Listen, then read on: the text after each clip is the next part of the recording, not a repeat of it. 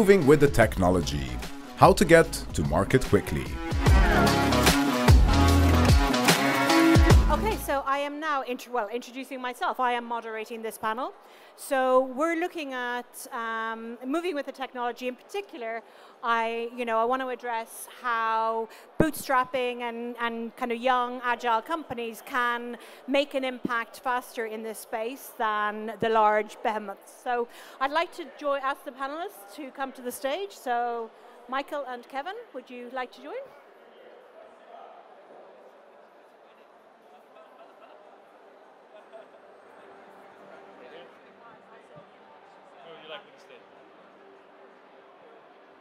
Everybody. Okay, so um, I'll, I'll start, like, do you want to each say a quick hello and introduce? Hello, hello. Hi, everyone. I'm Michael. I'm one of the partners at Metaverse Architects. Metaverse Architects is a leading development and 3D studi studio. Primarily, we build on Decentraland, but we also build on other spaces and private spaces. I'll leave it to, to Kevin now.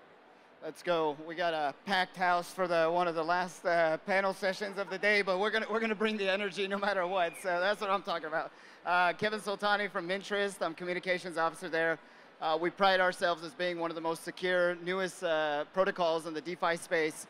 Uh, very excited to be here. Uh, we'll talk a little bit about the investment side, but the growth, and I think that we all have a lot to add here given the crypto winter, given all the headaches, given everything, you still got to crush it. You still got to go forward every day. So we're going to talk a little bit about that. Fantastic. Thank you. Uh, my name is Sheraz Ahmed, coming from Switzerland. Uh, I'm the managing partner of Storm Partners and also the co-executive director of the Crypto Valley Association. So yeah, looking forward to the panel. Brilliant. So that's everybody introduced. I'm Aideen Shortt, and I have been here for the last two days, so you should probably know me by now. Okay, so Kevin, I'm going to start with you. So you've just had a very successful um, private launch with Mintrist. Um, why, why, and, and I, will come to you after that, Michael, about especially about your new your your new offices here and the expansion. But why does it, uh, you know, why can a company like Mintrist and any other, you know, new, agile, you know, hungry company. What do you have that the big companies don't? Why can you get out there faster? So I think we reverse engineered the process of raising capital, uh, connecting with the community, uh, working with them in tandem. So most people go after a, a, subset of investors that they feel that can close the round with, a subset of community members that they feel can join the network, what we did is we didn't close the ticket size to any specific number. The average ticket size was about 250,000, uh, which is average. In DeFi, that's quite low, give or take. You know, it depends who you compare it to. But what we did that, uh, instead of going after 5, 10, 15, we went after 50 to 100. And most of those had put in that average ticket size for the purpose of a great new protocol. And uh, what that equated to was building the community at the same time. Not only are those investors, are those VCs bringing in their networks, right? We're also gaining the trust over the last year, year and a half. No one's perfect. We've had to push back deadlines. We've had to push back, uh, you know, we've had five security audits, much more than a lot of our competitors. So growing the investor network, getting the money in, and the community at the same time, to be honest, kind of in the long run saved us a lot of money, not just going after community alone, which is a science in and of itself.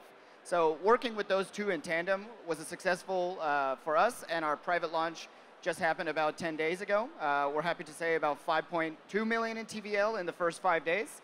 And we're kicking and screaming with zero marketing. Not a single dollar of marketing has gone out just yet. And okay. public is coming up soon. I can see, I can see nodding. You're in agreement?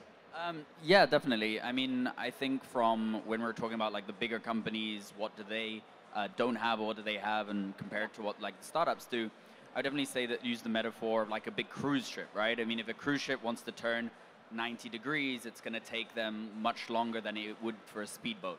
So I think startups do have that versatility. They do have the ability to be able to move faster, especially, for example, what just happened with USDC over the weekend.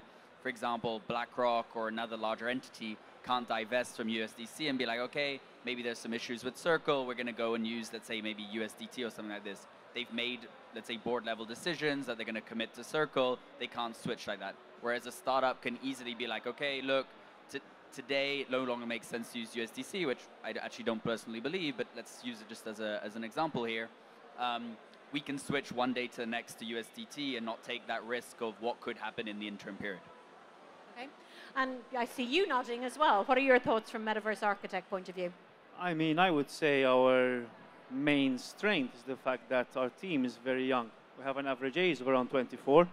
Therefore, yeah. I going to swear again. really? Yeah. Oh my yeah, God. Okay. yeah. So we grew up in a generation where we're, most of them were playing Minecraft, etc. And this passion has turned into a sort of business. I mean, I remember a year and a half ago, we were all in one of my partners' flat and all building the business, and it was very exciting. And this transition has led to where we are today.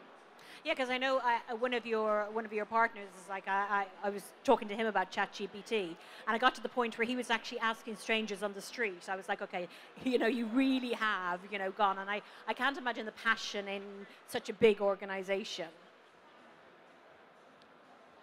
Such a passion in a big organization in terms yes, of that, that, that somebody's going to you know take their job and go out on the street and ask strangers, what do you think of ChatGPT?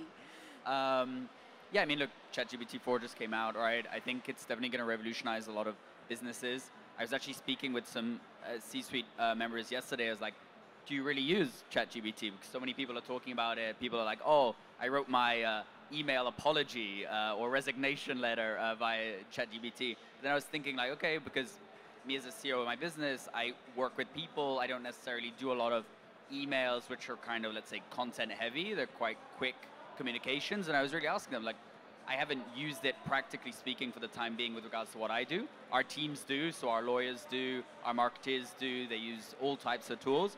But for me, communicating with them, it would feel very, um, yeah, unpersonal for me to kind of speak with my team, my close team like that. So I think it's definitely going to revolutionize a lot of things.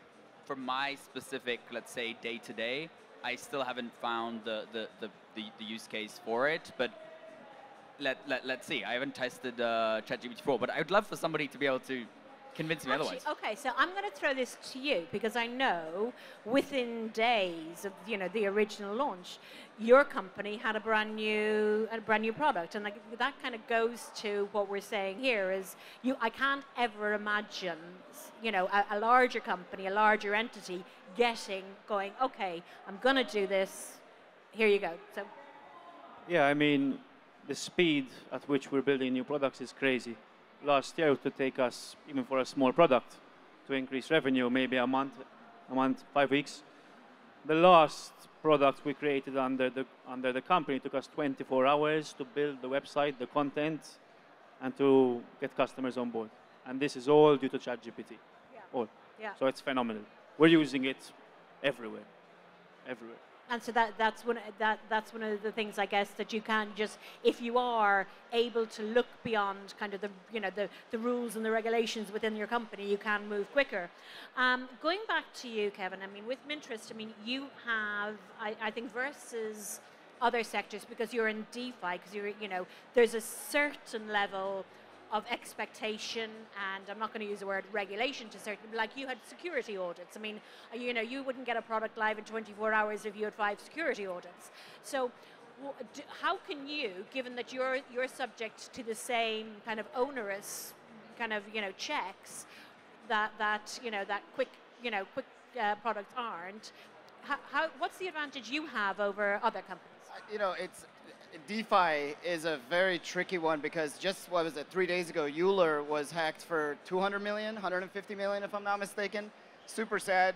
Uh, just another one in the bucket. But if you look at, it's not all their fault, as we always say. But they ran security audits. They did their best. But there's always something. There's a hole that they're going to find. This is why we just completed our fifth security audit. Right, we have a, a due diligence not only to ourselves, but to our clients, to our customers, to the retail, to the investors, all encompassing that they're looking for the best, safest, secure place to place their money. In the old days, that's what the bank provided you, right? As of this weekend, that whole thing fell apart. But they used to say, run to the banks for secure money. And now they're saying, run to crypto in some essences for secure money.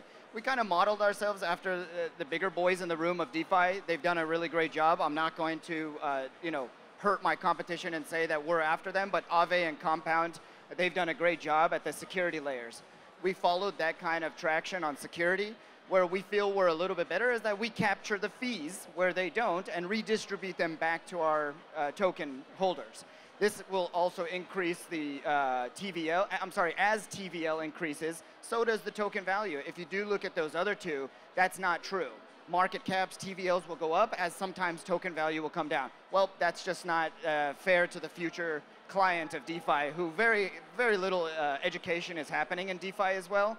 So we're providing a few of those and I knocked off you know, security, I knocked off com competitors, capturing fees, but also it's the education, right? If you can educate people within DeFi, you'll understand why the security layers are so important. You'll understand why capturing fees and increasing your token value is so important.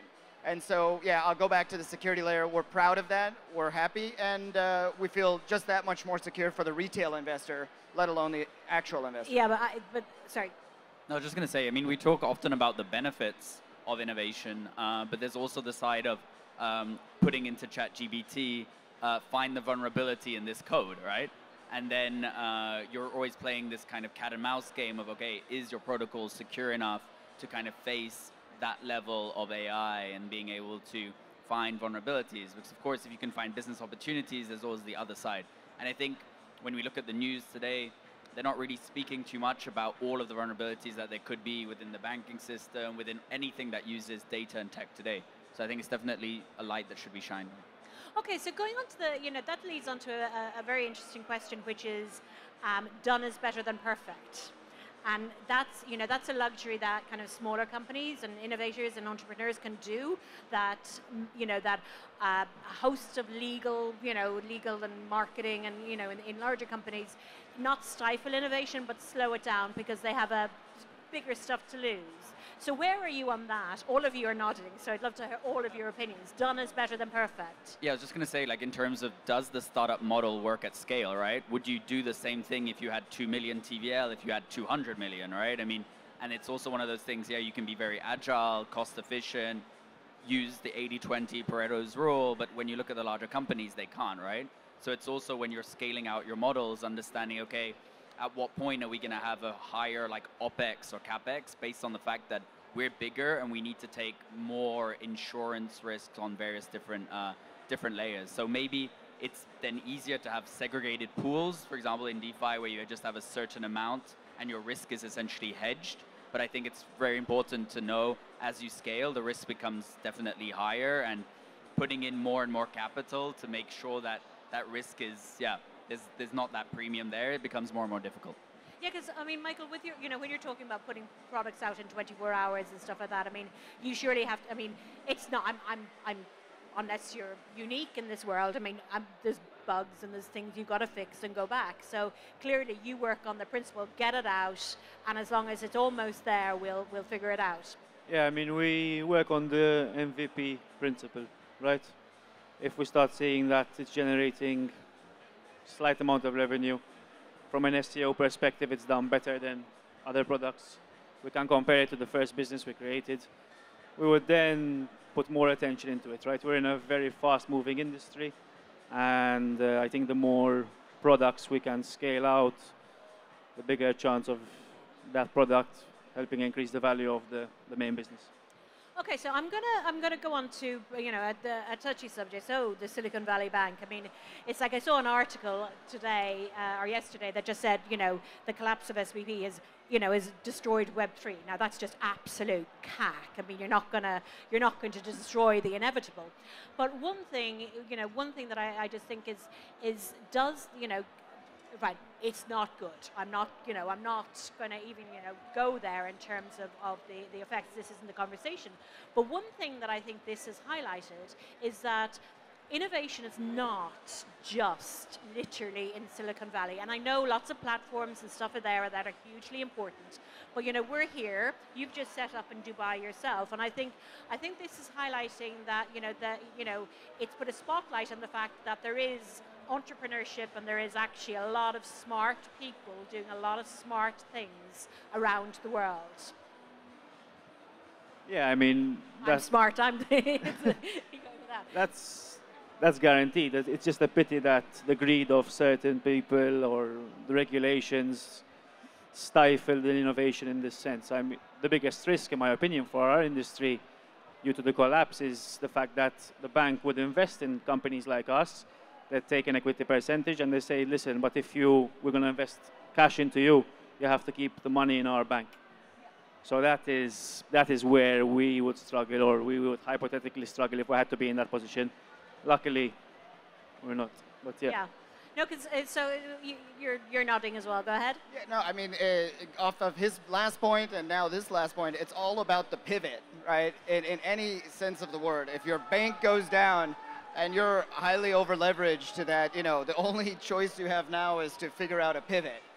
Whether that's to scale back, scale forward, fail fast, fail forward, all these cliche, you know, valley talk it's, it's facts. It works, right? You do, you do have to pivot. And I'd say smaller, you know, SME companies in the blockchain crypto space have that, uh, you know, can afford to pivot, right? Can afford and should well, be ready at any moment, especially you in invest in people. Hacks. You know, you invest in people because it's like what you start out doing is very rarely what you end up doing. It's like, and it is about that. So, you know, so again, that's where kind of a smaller, fresher company, especially a young one like you're, like you know, still playing Minecraft and stuff like that. It's like, you know, if your average age is 24, you're more flexible than a company that has seven, you know, HR departments and legal departments and, you know, and, and, and a playbook that governs what can and can't be done. Um, we have run out of time. It, does anybody have any questions? So I, I have one last one then be, be, uh, before we go on. And so um, with regards to, with regards to the, um, the, you know, the innovation versus the kind of larger companies. A lot of companies, a lot of the larger companies, happy to hang back and buy their way in. How do you feel about that? It's like so they're you know they're they're they're happy for you know well of course yeah but the, but like you you know the innovator is all of the risk is being taken uh, you know and then they're just going to go okay see which ones are left in a year's time uh, you know is that is good bad indifferent I mean, personally, there's not much to think about. It's just the way the capitalist system works. Yeah. It's adapt or die. The founders who want to keep the company and really have a passion stay in it for the long run, right? Regardless of any potential investment in the future. Yeah. I mean, look, in DeFi specifically, uh, the banks are coming. They're going to offer a solution in some sense of the word. You can call it uh, CDFI, which is centralized decentralized financing. Uh, uh but when they offer my mother a solution to move her money from her savings account, which used to be in America a certificate of deposit that could be 5, 10%, and they give her some other solution of 10, 15% to compete with DeFi, which are hundreds of percents potentially, Chase Bank will win that fight, right? Not now. We're not even close. Regulations need to come in. A lot needs to happen on innovation, but we're headed that direction. You could call it via CDB, uh, CBDC, or you could call it a chase token. I'm not going to make that prediction. However, I know they're coming, and their security audits, their everything is going to be 10x ours, but they're going to be in the shadows for now. So yeah. that's a little yeah, bit of how DeFi. They, they hang back. Okay, I have literally, he's on the phone now, but he has actually warned me to, to stop talking. Um, so thank you very much. That was very interesting. Uh, and um, and you know, Michael, good luck with the with the new offices here in Dubai, and and congratulations on your launch, and thank you very much to to Shisha. Thank you very much. Thank you guys. Thanks for coming. Thanks everybody.